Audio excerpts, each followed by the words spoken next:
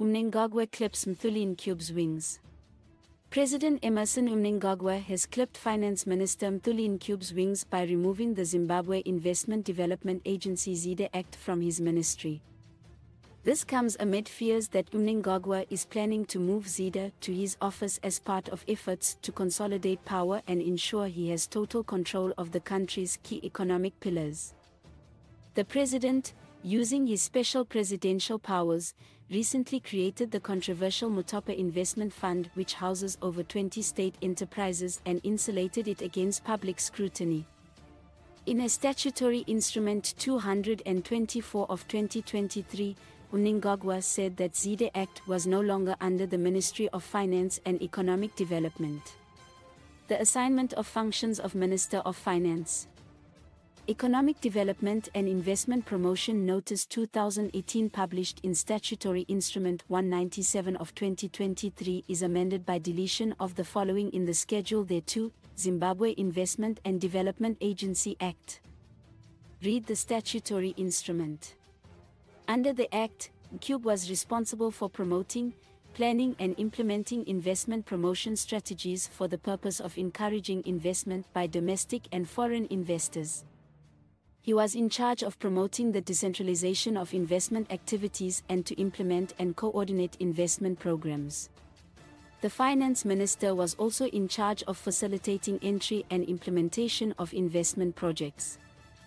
Mthuli was to work with interested stakeholders in using modern communications methods to promote Zimbabwe as an attractive investment destination and to facilitate, across all sectors of the economy, dialogue and other consultations between the public and private sectors to improve the investment climate for domestic and foreign investment.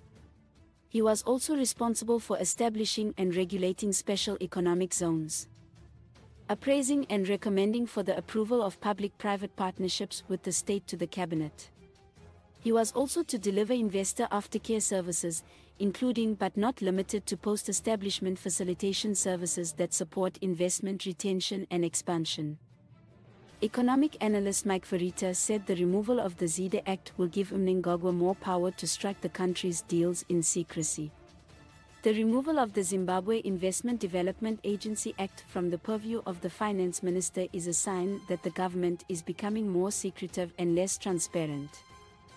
This is a worrying development, as it will make it more difficult for investors to understand and navigate the Zimbabwean investment landscape, he said.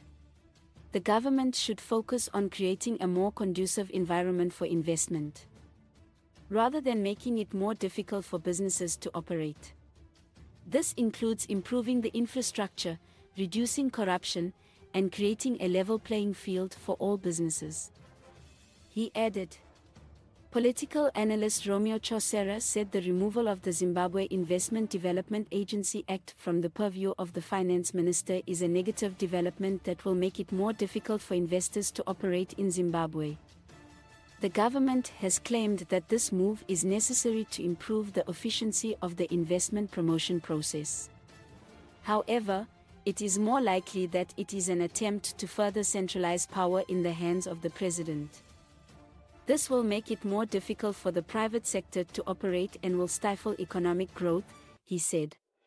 Please like, comment, share and follow this channel for more information or updates on news and entertainment.